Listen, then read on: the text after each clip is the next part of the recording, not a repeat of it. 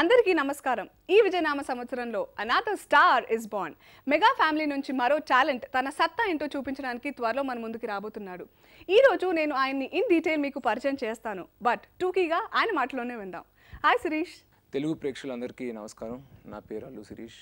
మీకు మీరు మీకు బాగా నచ్చిన అల్లు అర్జున్ యాక్టర్ అల్లు అర్జున్ తమ్ముడిని మెగాస్టార్ చిరంజీవి గారికి మేనల్ అవుతాను. ఇప్పుడు ఒక నటుడిగా గౌరవం అనే సినిమాతో మీ ముందుకు వస్తున్నాను. And thank you very much for watching my interview right నా thanks for calling me to studio Shirish Gouravam cinema ద్వారా మీరు హీరోగా పరిచయం కాబోతున్నారు. మీ ఫ్యామిలీలో కానీ మెగా ఫ్యాన్స్ నుంచి కానీ మీరు మంచి ప్రొడ్యూసర్ అవుతారనుకున్నాం మేము ఇప్పటివరకు. బట్ మీరు హీరోగా మీ కెరీర్ని సెలెక్ట్ చేసుకున్నారు. ఈ ఇంట్రెస్ట్ ఎలా కలిగింది? నటుడు అవుదామని ఇంట్రెస్ట్ ఎప్పుడు ఉండిందండి. కానీ కథానాయకుడిగా చేద్దామని ఎప్పుడు అనుకోలేదు. చిన్నప్పుడు చైల్డ్ ఆర్టిస్ట్గా ప్రతిబంధ్ సినిమాలో ఒక పాత్ర దాసరి నారాయణరావు గారి మాయాబజార్ నైంటీ సిక్స్ దాంట్లో ఒక పాత్ర. భానుమతి గారు ఒక సీరియల్ చేశారు. దాంట్లో మెయిన్ లీడ్ అదొక చైల్డ్ ఆర్టిస్ట్ మీద ప్లే చేశాను. సో నటన పైన ఎప్పుడు ఇంట్రెస్ట్ ఉండింది తప్ప అది ప్రొడ్యూసింగ్తో పాటు చేద్దాం అనుకున్నాను తప్ప కథానాయకుడిగా చేద్దాం అనుకోలే. బట్ ఇండస్ట్రీలో చాలామంది డైరెక్టర్స్ ప్రొడ్యూసర్స్ చూసి నాకు మంచి సినిమాలో అవకాశం ఇచ్చారు. కానీ నేను అది తీసుకోలేకపోయాను. మంచి హిట్ సినిమాలు. అప్పుడు నేను సిద్ధంగా లేను. ప్రిపరేషన్ లేదు. సో తర్వాత అది అయ్యాక కూడా వాళ్ళు కూర్చోబెట్టి పేర్లు చెప్పట్లేదు. మన ఇండస్ట్రీ టాప్ సెవెన్ ఎయిట్ డైరెక్టర్స్లో ముగ్గురు. మన మన ఫ్యా మా ఫ్యామిలీతో పనిచేసిన వాళ్ళు కూర్చోబెట్టి నిజంగా ఒకళ్ళైతే నిజంగా ఒక సినిమా ఆఫర్ ఇచ్చారు. నేను తీసుకోలేకపోయాను ఇంకోళ్ళు మా అన్నయ్య డైరెక్ట్ చేస్తున్న వేరే డైరెక్టర్ కూడా కూర్చోబెట్టి ఒక అరగంట. నేను అనుకుంటున్నాను నేను నీకు ఆఫర్ ఇవ్వట్లేదు బట్ చేస్తే బాగుంటుందని. బాంబేలో కూడా మా ఫ్రెండ్స్ ఇండస్ట్రీ వాళ్ళు కూడా నువ్వు ఎందుకు చేయట్లేదు? మాకెందుకో నువ్వు క్లిక్ అవుతావు అనిపిస్తుంది. ఏదో ఒక చిన్న ఇది ఉంది ఆలోచించు అని చెప్తుండగా నిజంగా అంతమంది చెప్తున్నప్పుడు ఓన్లీ ఒక ఒక ఆర్టిస్ట్గా ఎందుకు ఆగిపోవడం? ఒక కథానాయకుడిగా కూడా మనం కష్టపడితే ఎదగొచ్చు అని అనిపించి చాలామంది ఆలోచించి దాని గురించి చాలా ఆలోచించి మా ఫ్యామిలీలతో డిస్కస్ చేసి చర్చ చేసి వాళ్ళందరూ బ్లెస్సింగ్స్ వాళ్ళందరూ అనుమతి తీసుకున్న తర్వాతే ఒక ఆర్టిస్ట్గా చదవడం జరిగింది. శిరీష్ మీ ఫ్యామిలీ నుంచి మెగా హీరోస్లో ఒక్కొక్కరికి ఒక్కో స్పెషాలిటీ ఉంది. పవన్ కళ్యాణ్ రామ్ చరణ్ అండ్ బన్నీ వీళ్ళు ముగ్గురు సక్సెస్ఫుల్ హీరోస్. ఒక రకంగా చెప్పాలంటే మీ మెగా ఫ్యామిలీ నుంచి హీరోస్కి ఒకలాంటి హై ఎక్స్పెక్టేషన్స్ ఉంటాయి ఫ్రమ్ ది ఆడియన్స్. సో ఆ ఎక్స్పెక్టేషన్స్ రీచ్ అవ్వడానికి మీరు ఎలాంటి హోంవర్క్ చేశారు? How did you take care వాళ్ళని అందరినీ కేర్ఫుల్గా స్టడీ చేశానండి. Pawan Kalyan garu USP Bunny USP. Charan USP వాళ్ళ ముగ్గురిని అర్థం చేసుకుని ఫస్ట్ నేను చేసింది ఏంటంటే వాళ్ళు ఇమిటేట్ చేయకపోవడం. కావాలని వాళ్ళ వాళ్ళ స్టైల్స్ ఏది ఇమిటేట్ చేయకుండా నేను నా సొంతంగా ఒకటి తయారు చేసుకున్నాను. నా స్టైల్ అంటూ డిఫరెంట్గా చేద్దామని చెప్పి నా ఓన్ సెల్ఫ్ పైన వర్క్ చేసుకున్నానండి. ఒక ఆర్టిస్ట్గా ఒక పర్సనాలిటీగా తర్వాత వాళ్ళు ఎందుకు అంత అంత ఎత్తుకు ఎదిగారంటే ఆలోచించాను వాళ్ళు తీసుకున్న కథలు కానీ వాళ్ళు పోషించిన పాత్రలు ఎవ్రీ ఒక్కొక్కళ్ళు ఒక్కొక్క యూఎస్పీ ఉండింది. అది అలాగా నేను నా సొంత యూఎస్పీ డెవలప్ చేసుకుందాం. సొంత స్టైల్ ఒకటి సొంత మేనరిజం సొంత ఇది డెవలప్ చేసుకుందాం అని చదవడం జరిగింది. నటన నేర్చుకోవడానికి బాంబేకి యాక్టింగ్ స్కూల్కి వెళ్ళాను మూడు మాసాలు మా అన్నయ్య చరణ్ ఇద్దరు అదే గురుగారి దగ్గరికి వెళ్ళారు విదుర్ అని. ఆయన దగ్గరికి వెళ్ళి యాక్టింగ్ నేర్చుకున్నాను. అయ్యాక పాండియన్ మాస్టర్ని మెడ్రాస్లో వైఎంసీలో చాలామంది నటులు నటులకి తమిళ ఇండస్ట్రీలో సూర్య జయం రవి ఆర్య వీళ్ళందరికీ ఆయన ట్రైనింగ్ ఇచ్చారు. సో ఆయన దగ్గరికి వెళ్ళి మూడు నెలలు ఫైట్ ట్రైనింగ్ తీసుకున్నానండి.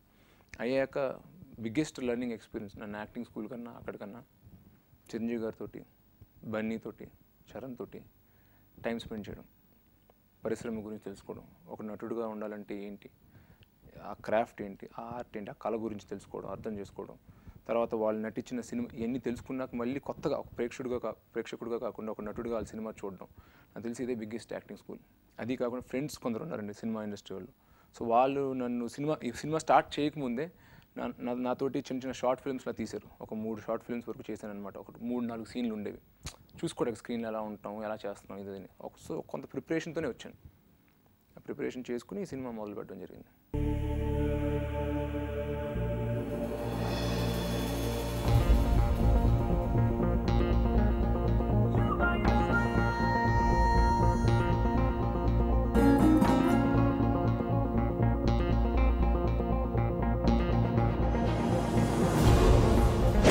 గౌరవం ప్రోమోస్ కానీ స్టిల్స్ కానీ చూస్తూ ఉంటే it's different kind of film అని తెలిసిపోతుంది.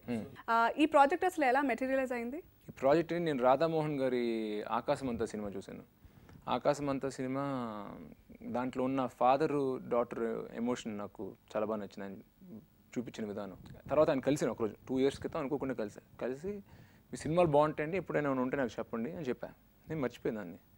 అయిపోయి ఒక సంవత్సరం తర్వాత ఆయన ఫోన్ చేశారు. ఫోన్ చేసి ఇలా ఒక కథ ఉంది చేస్తామన్నారు.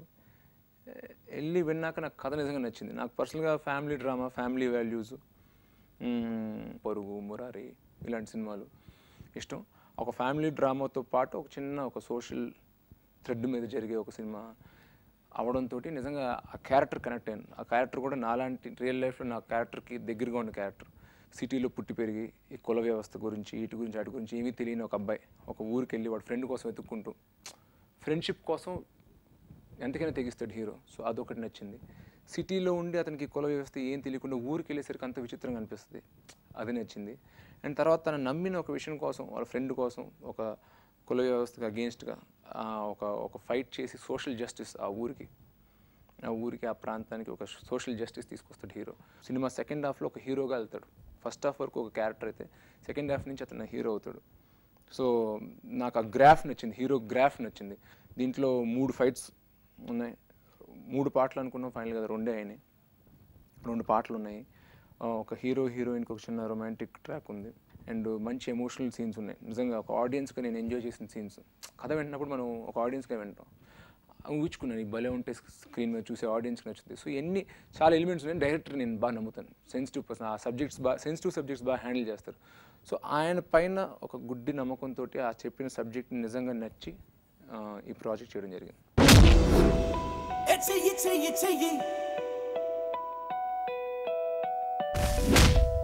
ఏకం చేసి చెయ్యి చెయ్యి ఏదైనా సాధించేయి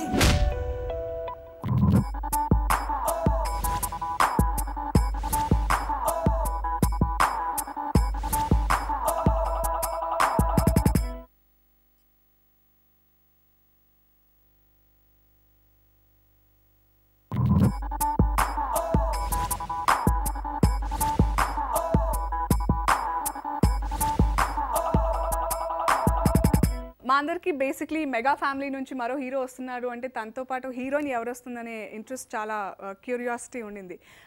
యామి గౌతమ్ని హీరోయిన్గా సెలెక్ట్ చేసుకోవడానికి what are the reasons first ఆమెని ఫెయిర్ అండ్ లవ్లీ యాడ్లో చూశానండి. చూసి చాలా ఎవరి అమ్మాయి చాలా బబ్లీగా చాలా యాక్టివ్గా చేస్తుంది బాగుంది అనుకున్నా. అనుకుని అక్కడ మర్చిపోయాను. మర్చిపోయాక నేను నువ్విల అల్లర్ బాబు గారు నువ్విల సినిమా చూశానండి. నువ్విల సినిమాలో ఒక మూడు అమ్మాయిలు one of the girl but నాకు ఆ- సినిమా నుంచి బయటకు వచ్చాక తన క్యారెక్టర్ బాగా గుర్తుండింది చాలా బాగా చేసింది. ఎప్పుడైనా మనం మన సినిమా మన ఫ్యామిలీలో మన బ్యాండర్లు ఎవరైనా చేస్తుంటే ఈ అమ్మాయిని మనం పెట్టుకోవచ్చు అని అనుకున్నాను. రాధామోహన్ గారు ఏదో వేరే అమ్మాయిని ఆయన ఆప్షన్స్ చూపిస్తుంటే అన్నీ ఆయన వద్దు నాకు వద్దు నాకు వద్దు. ప్రాబ్లం ఏంటంటే మనం తెలుగులోనూ షూట్ చేయాలి తమిళ్ళోనూ షూట్ చేయాలి. లక్కీగా అమ్మాయి ఆల్రెడీ మలయాళంలోనూ కన్నడలోనూ ఒక సినిమా చేసింది తెలుగులో ఒక సినిమా చేసింది. సో ఒక చూడడానికి బాగుంటుంది. అండ్ నువ్వు చూశాను ఆ, మా- ఆ హీరో అనే ఒక మలయాళం సినిమా చేసిన ఆర్ఎస్ఎస్ చూసాను సో చాలా బాగా చేసింది అనమాట చేసి రెండు భాషలు వచ్చు. సో మా సినిమాకి ఒక ఆర్టిస్ట్గా ఒక క్యారెక్టర్గా అమ్మాయి పర్ఫెక్ట్. ఒక చిన్న ఒక చిన్న టౌన్ ఒక స్మాల్ టౌన్ నుంచి వచ్చే ఇన్నసెన్స్ అన్నీ కావాలి. So she was the perfect choice ఇన్స్టెంట్గా ఓకే చేస్తారు ఆయన.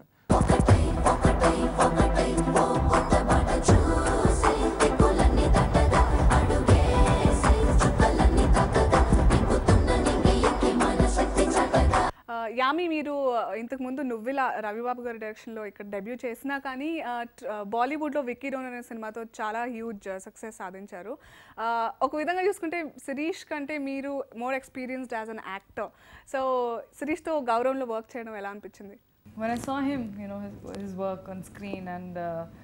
It was not less than professional as if he's done those forty fifty films in then coming I think was very confident very humble as an attitude, and uh, very easygoing. You didn't really feel that you're working with somebody, you know, who comes with this big name, big family. I think he was very, very grounded, very professional.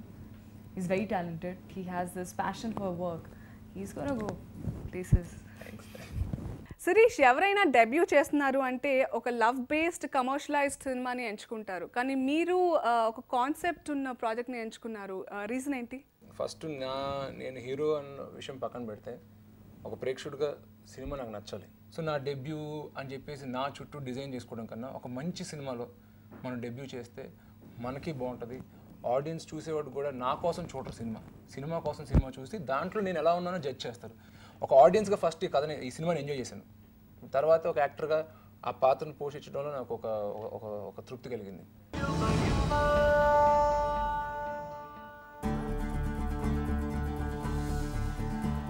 సిటీలో పెరిగిన వాళ్ళుగా ఇవన్నీ ఆశ్చర్యంగానే ఉంటాయి.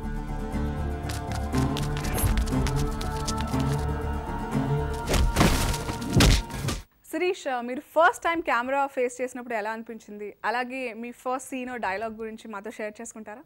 First time చాలా simple shot ఇచ్చారండి. ఒక just walking shot simple dialogue Telugu ఒకసారి తమిళ ఒకసారి.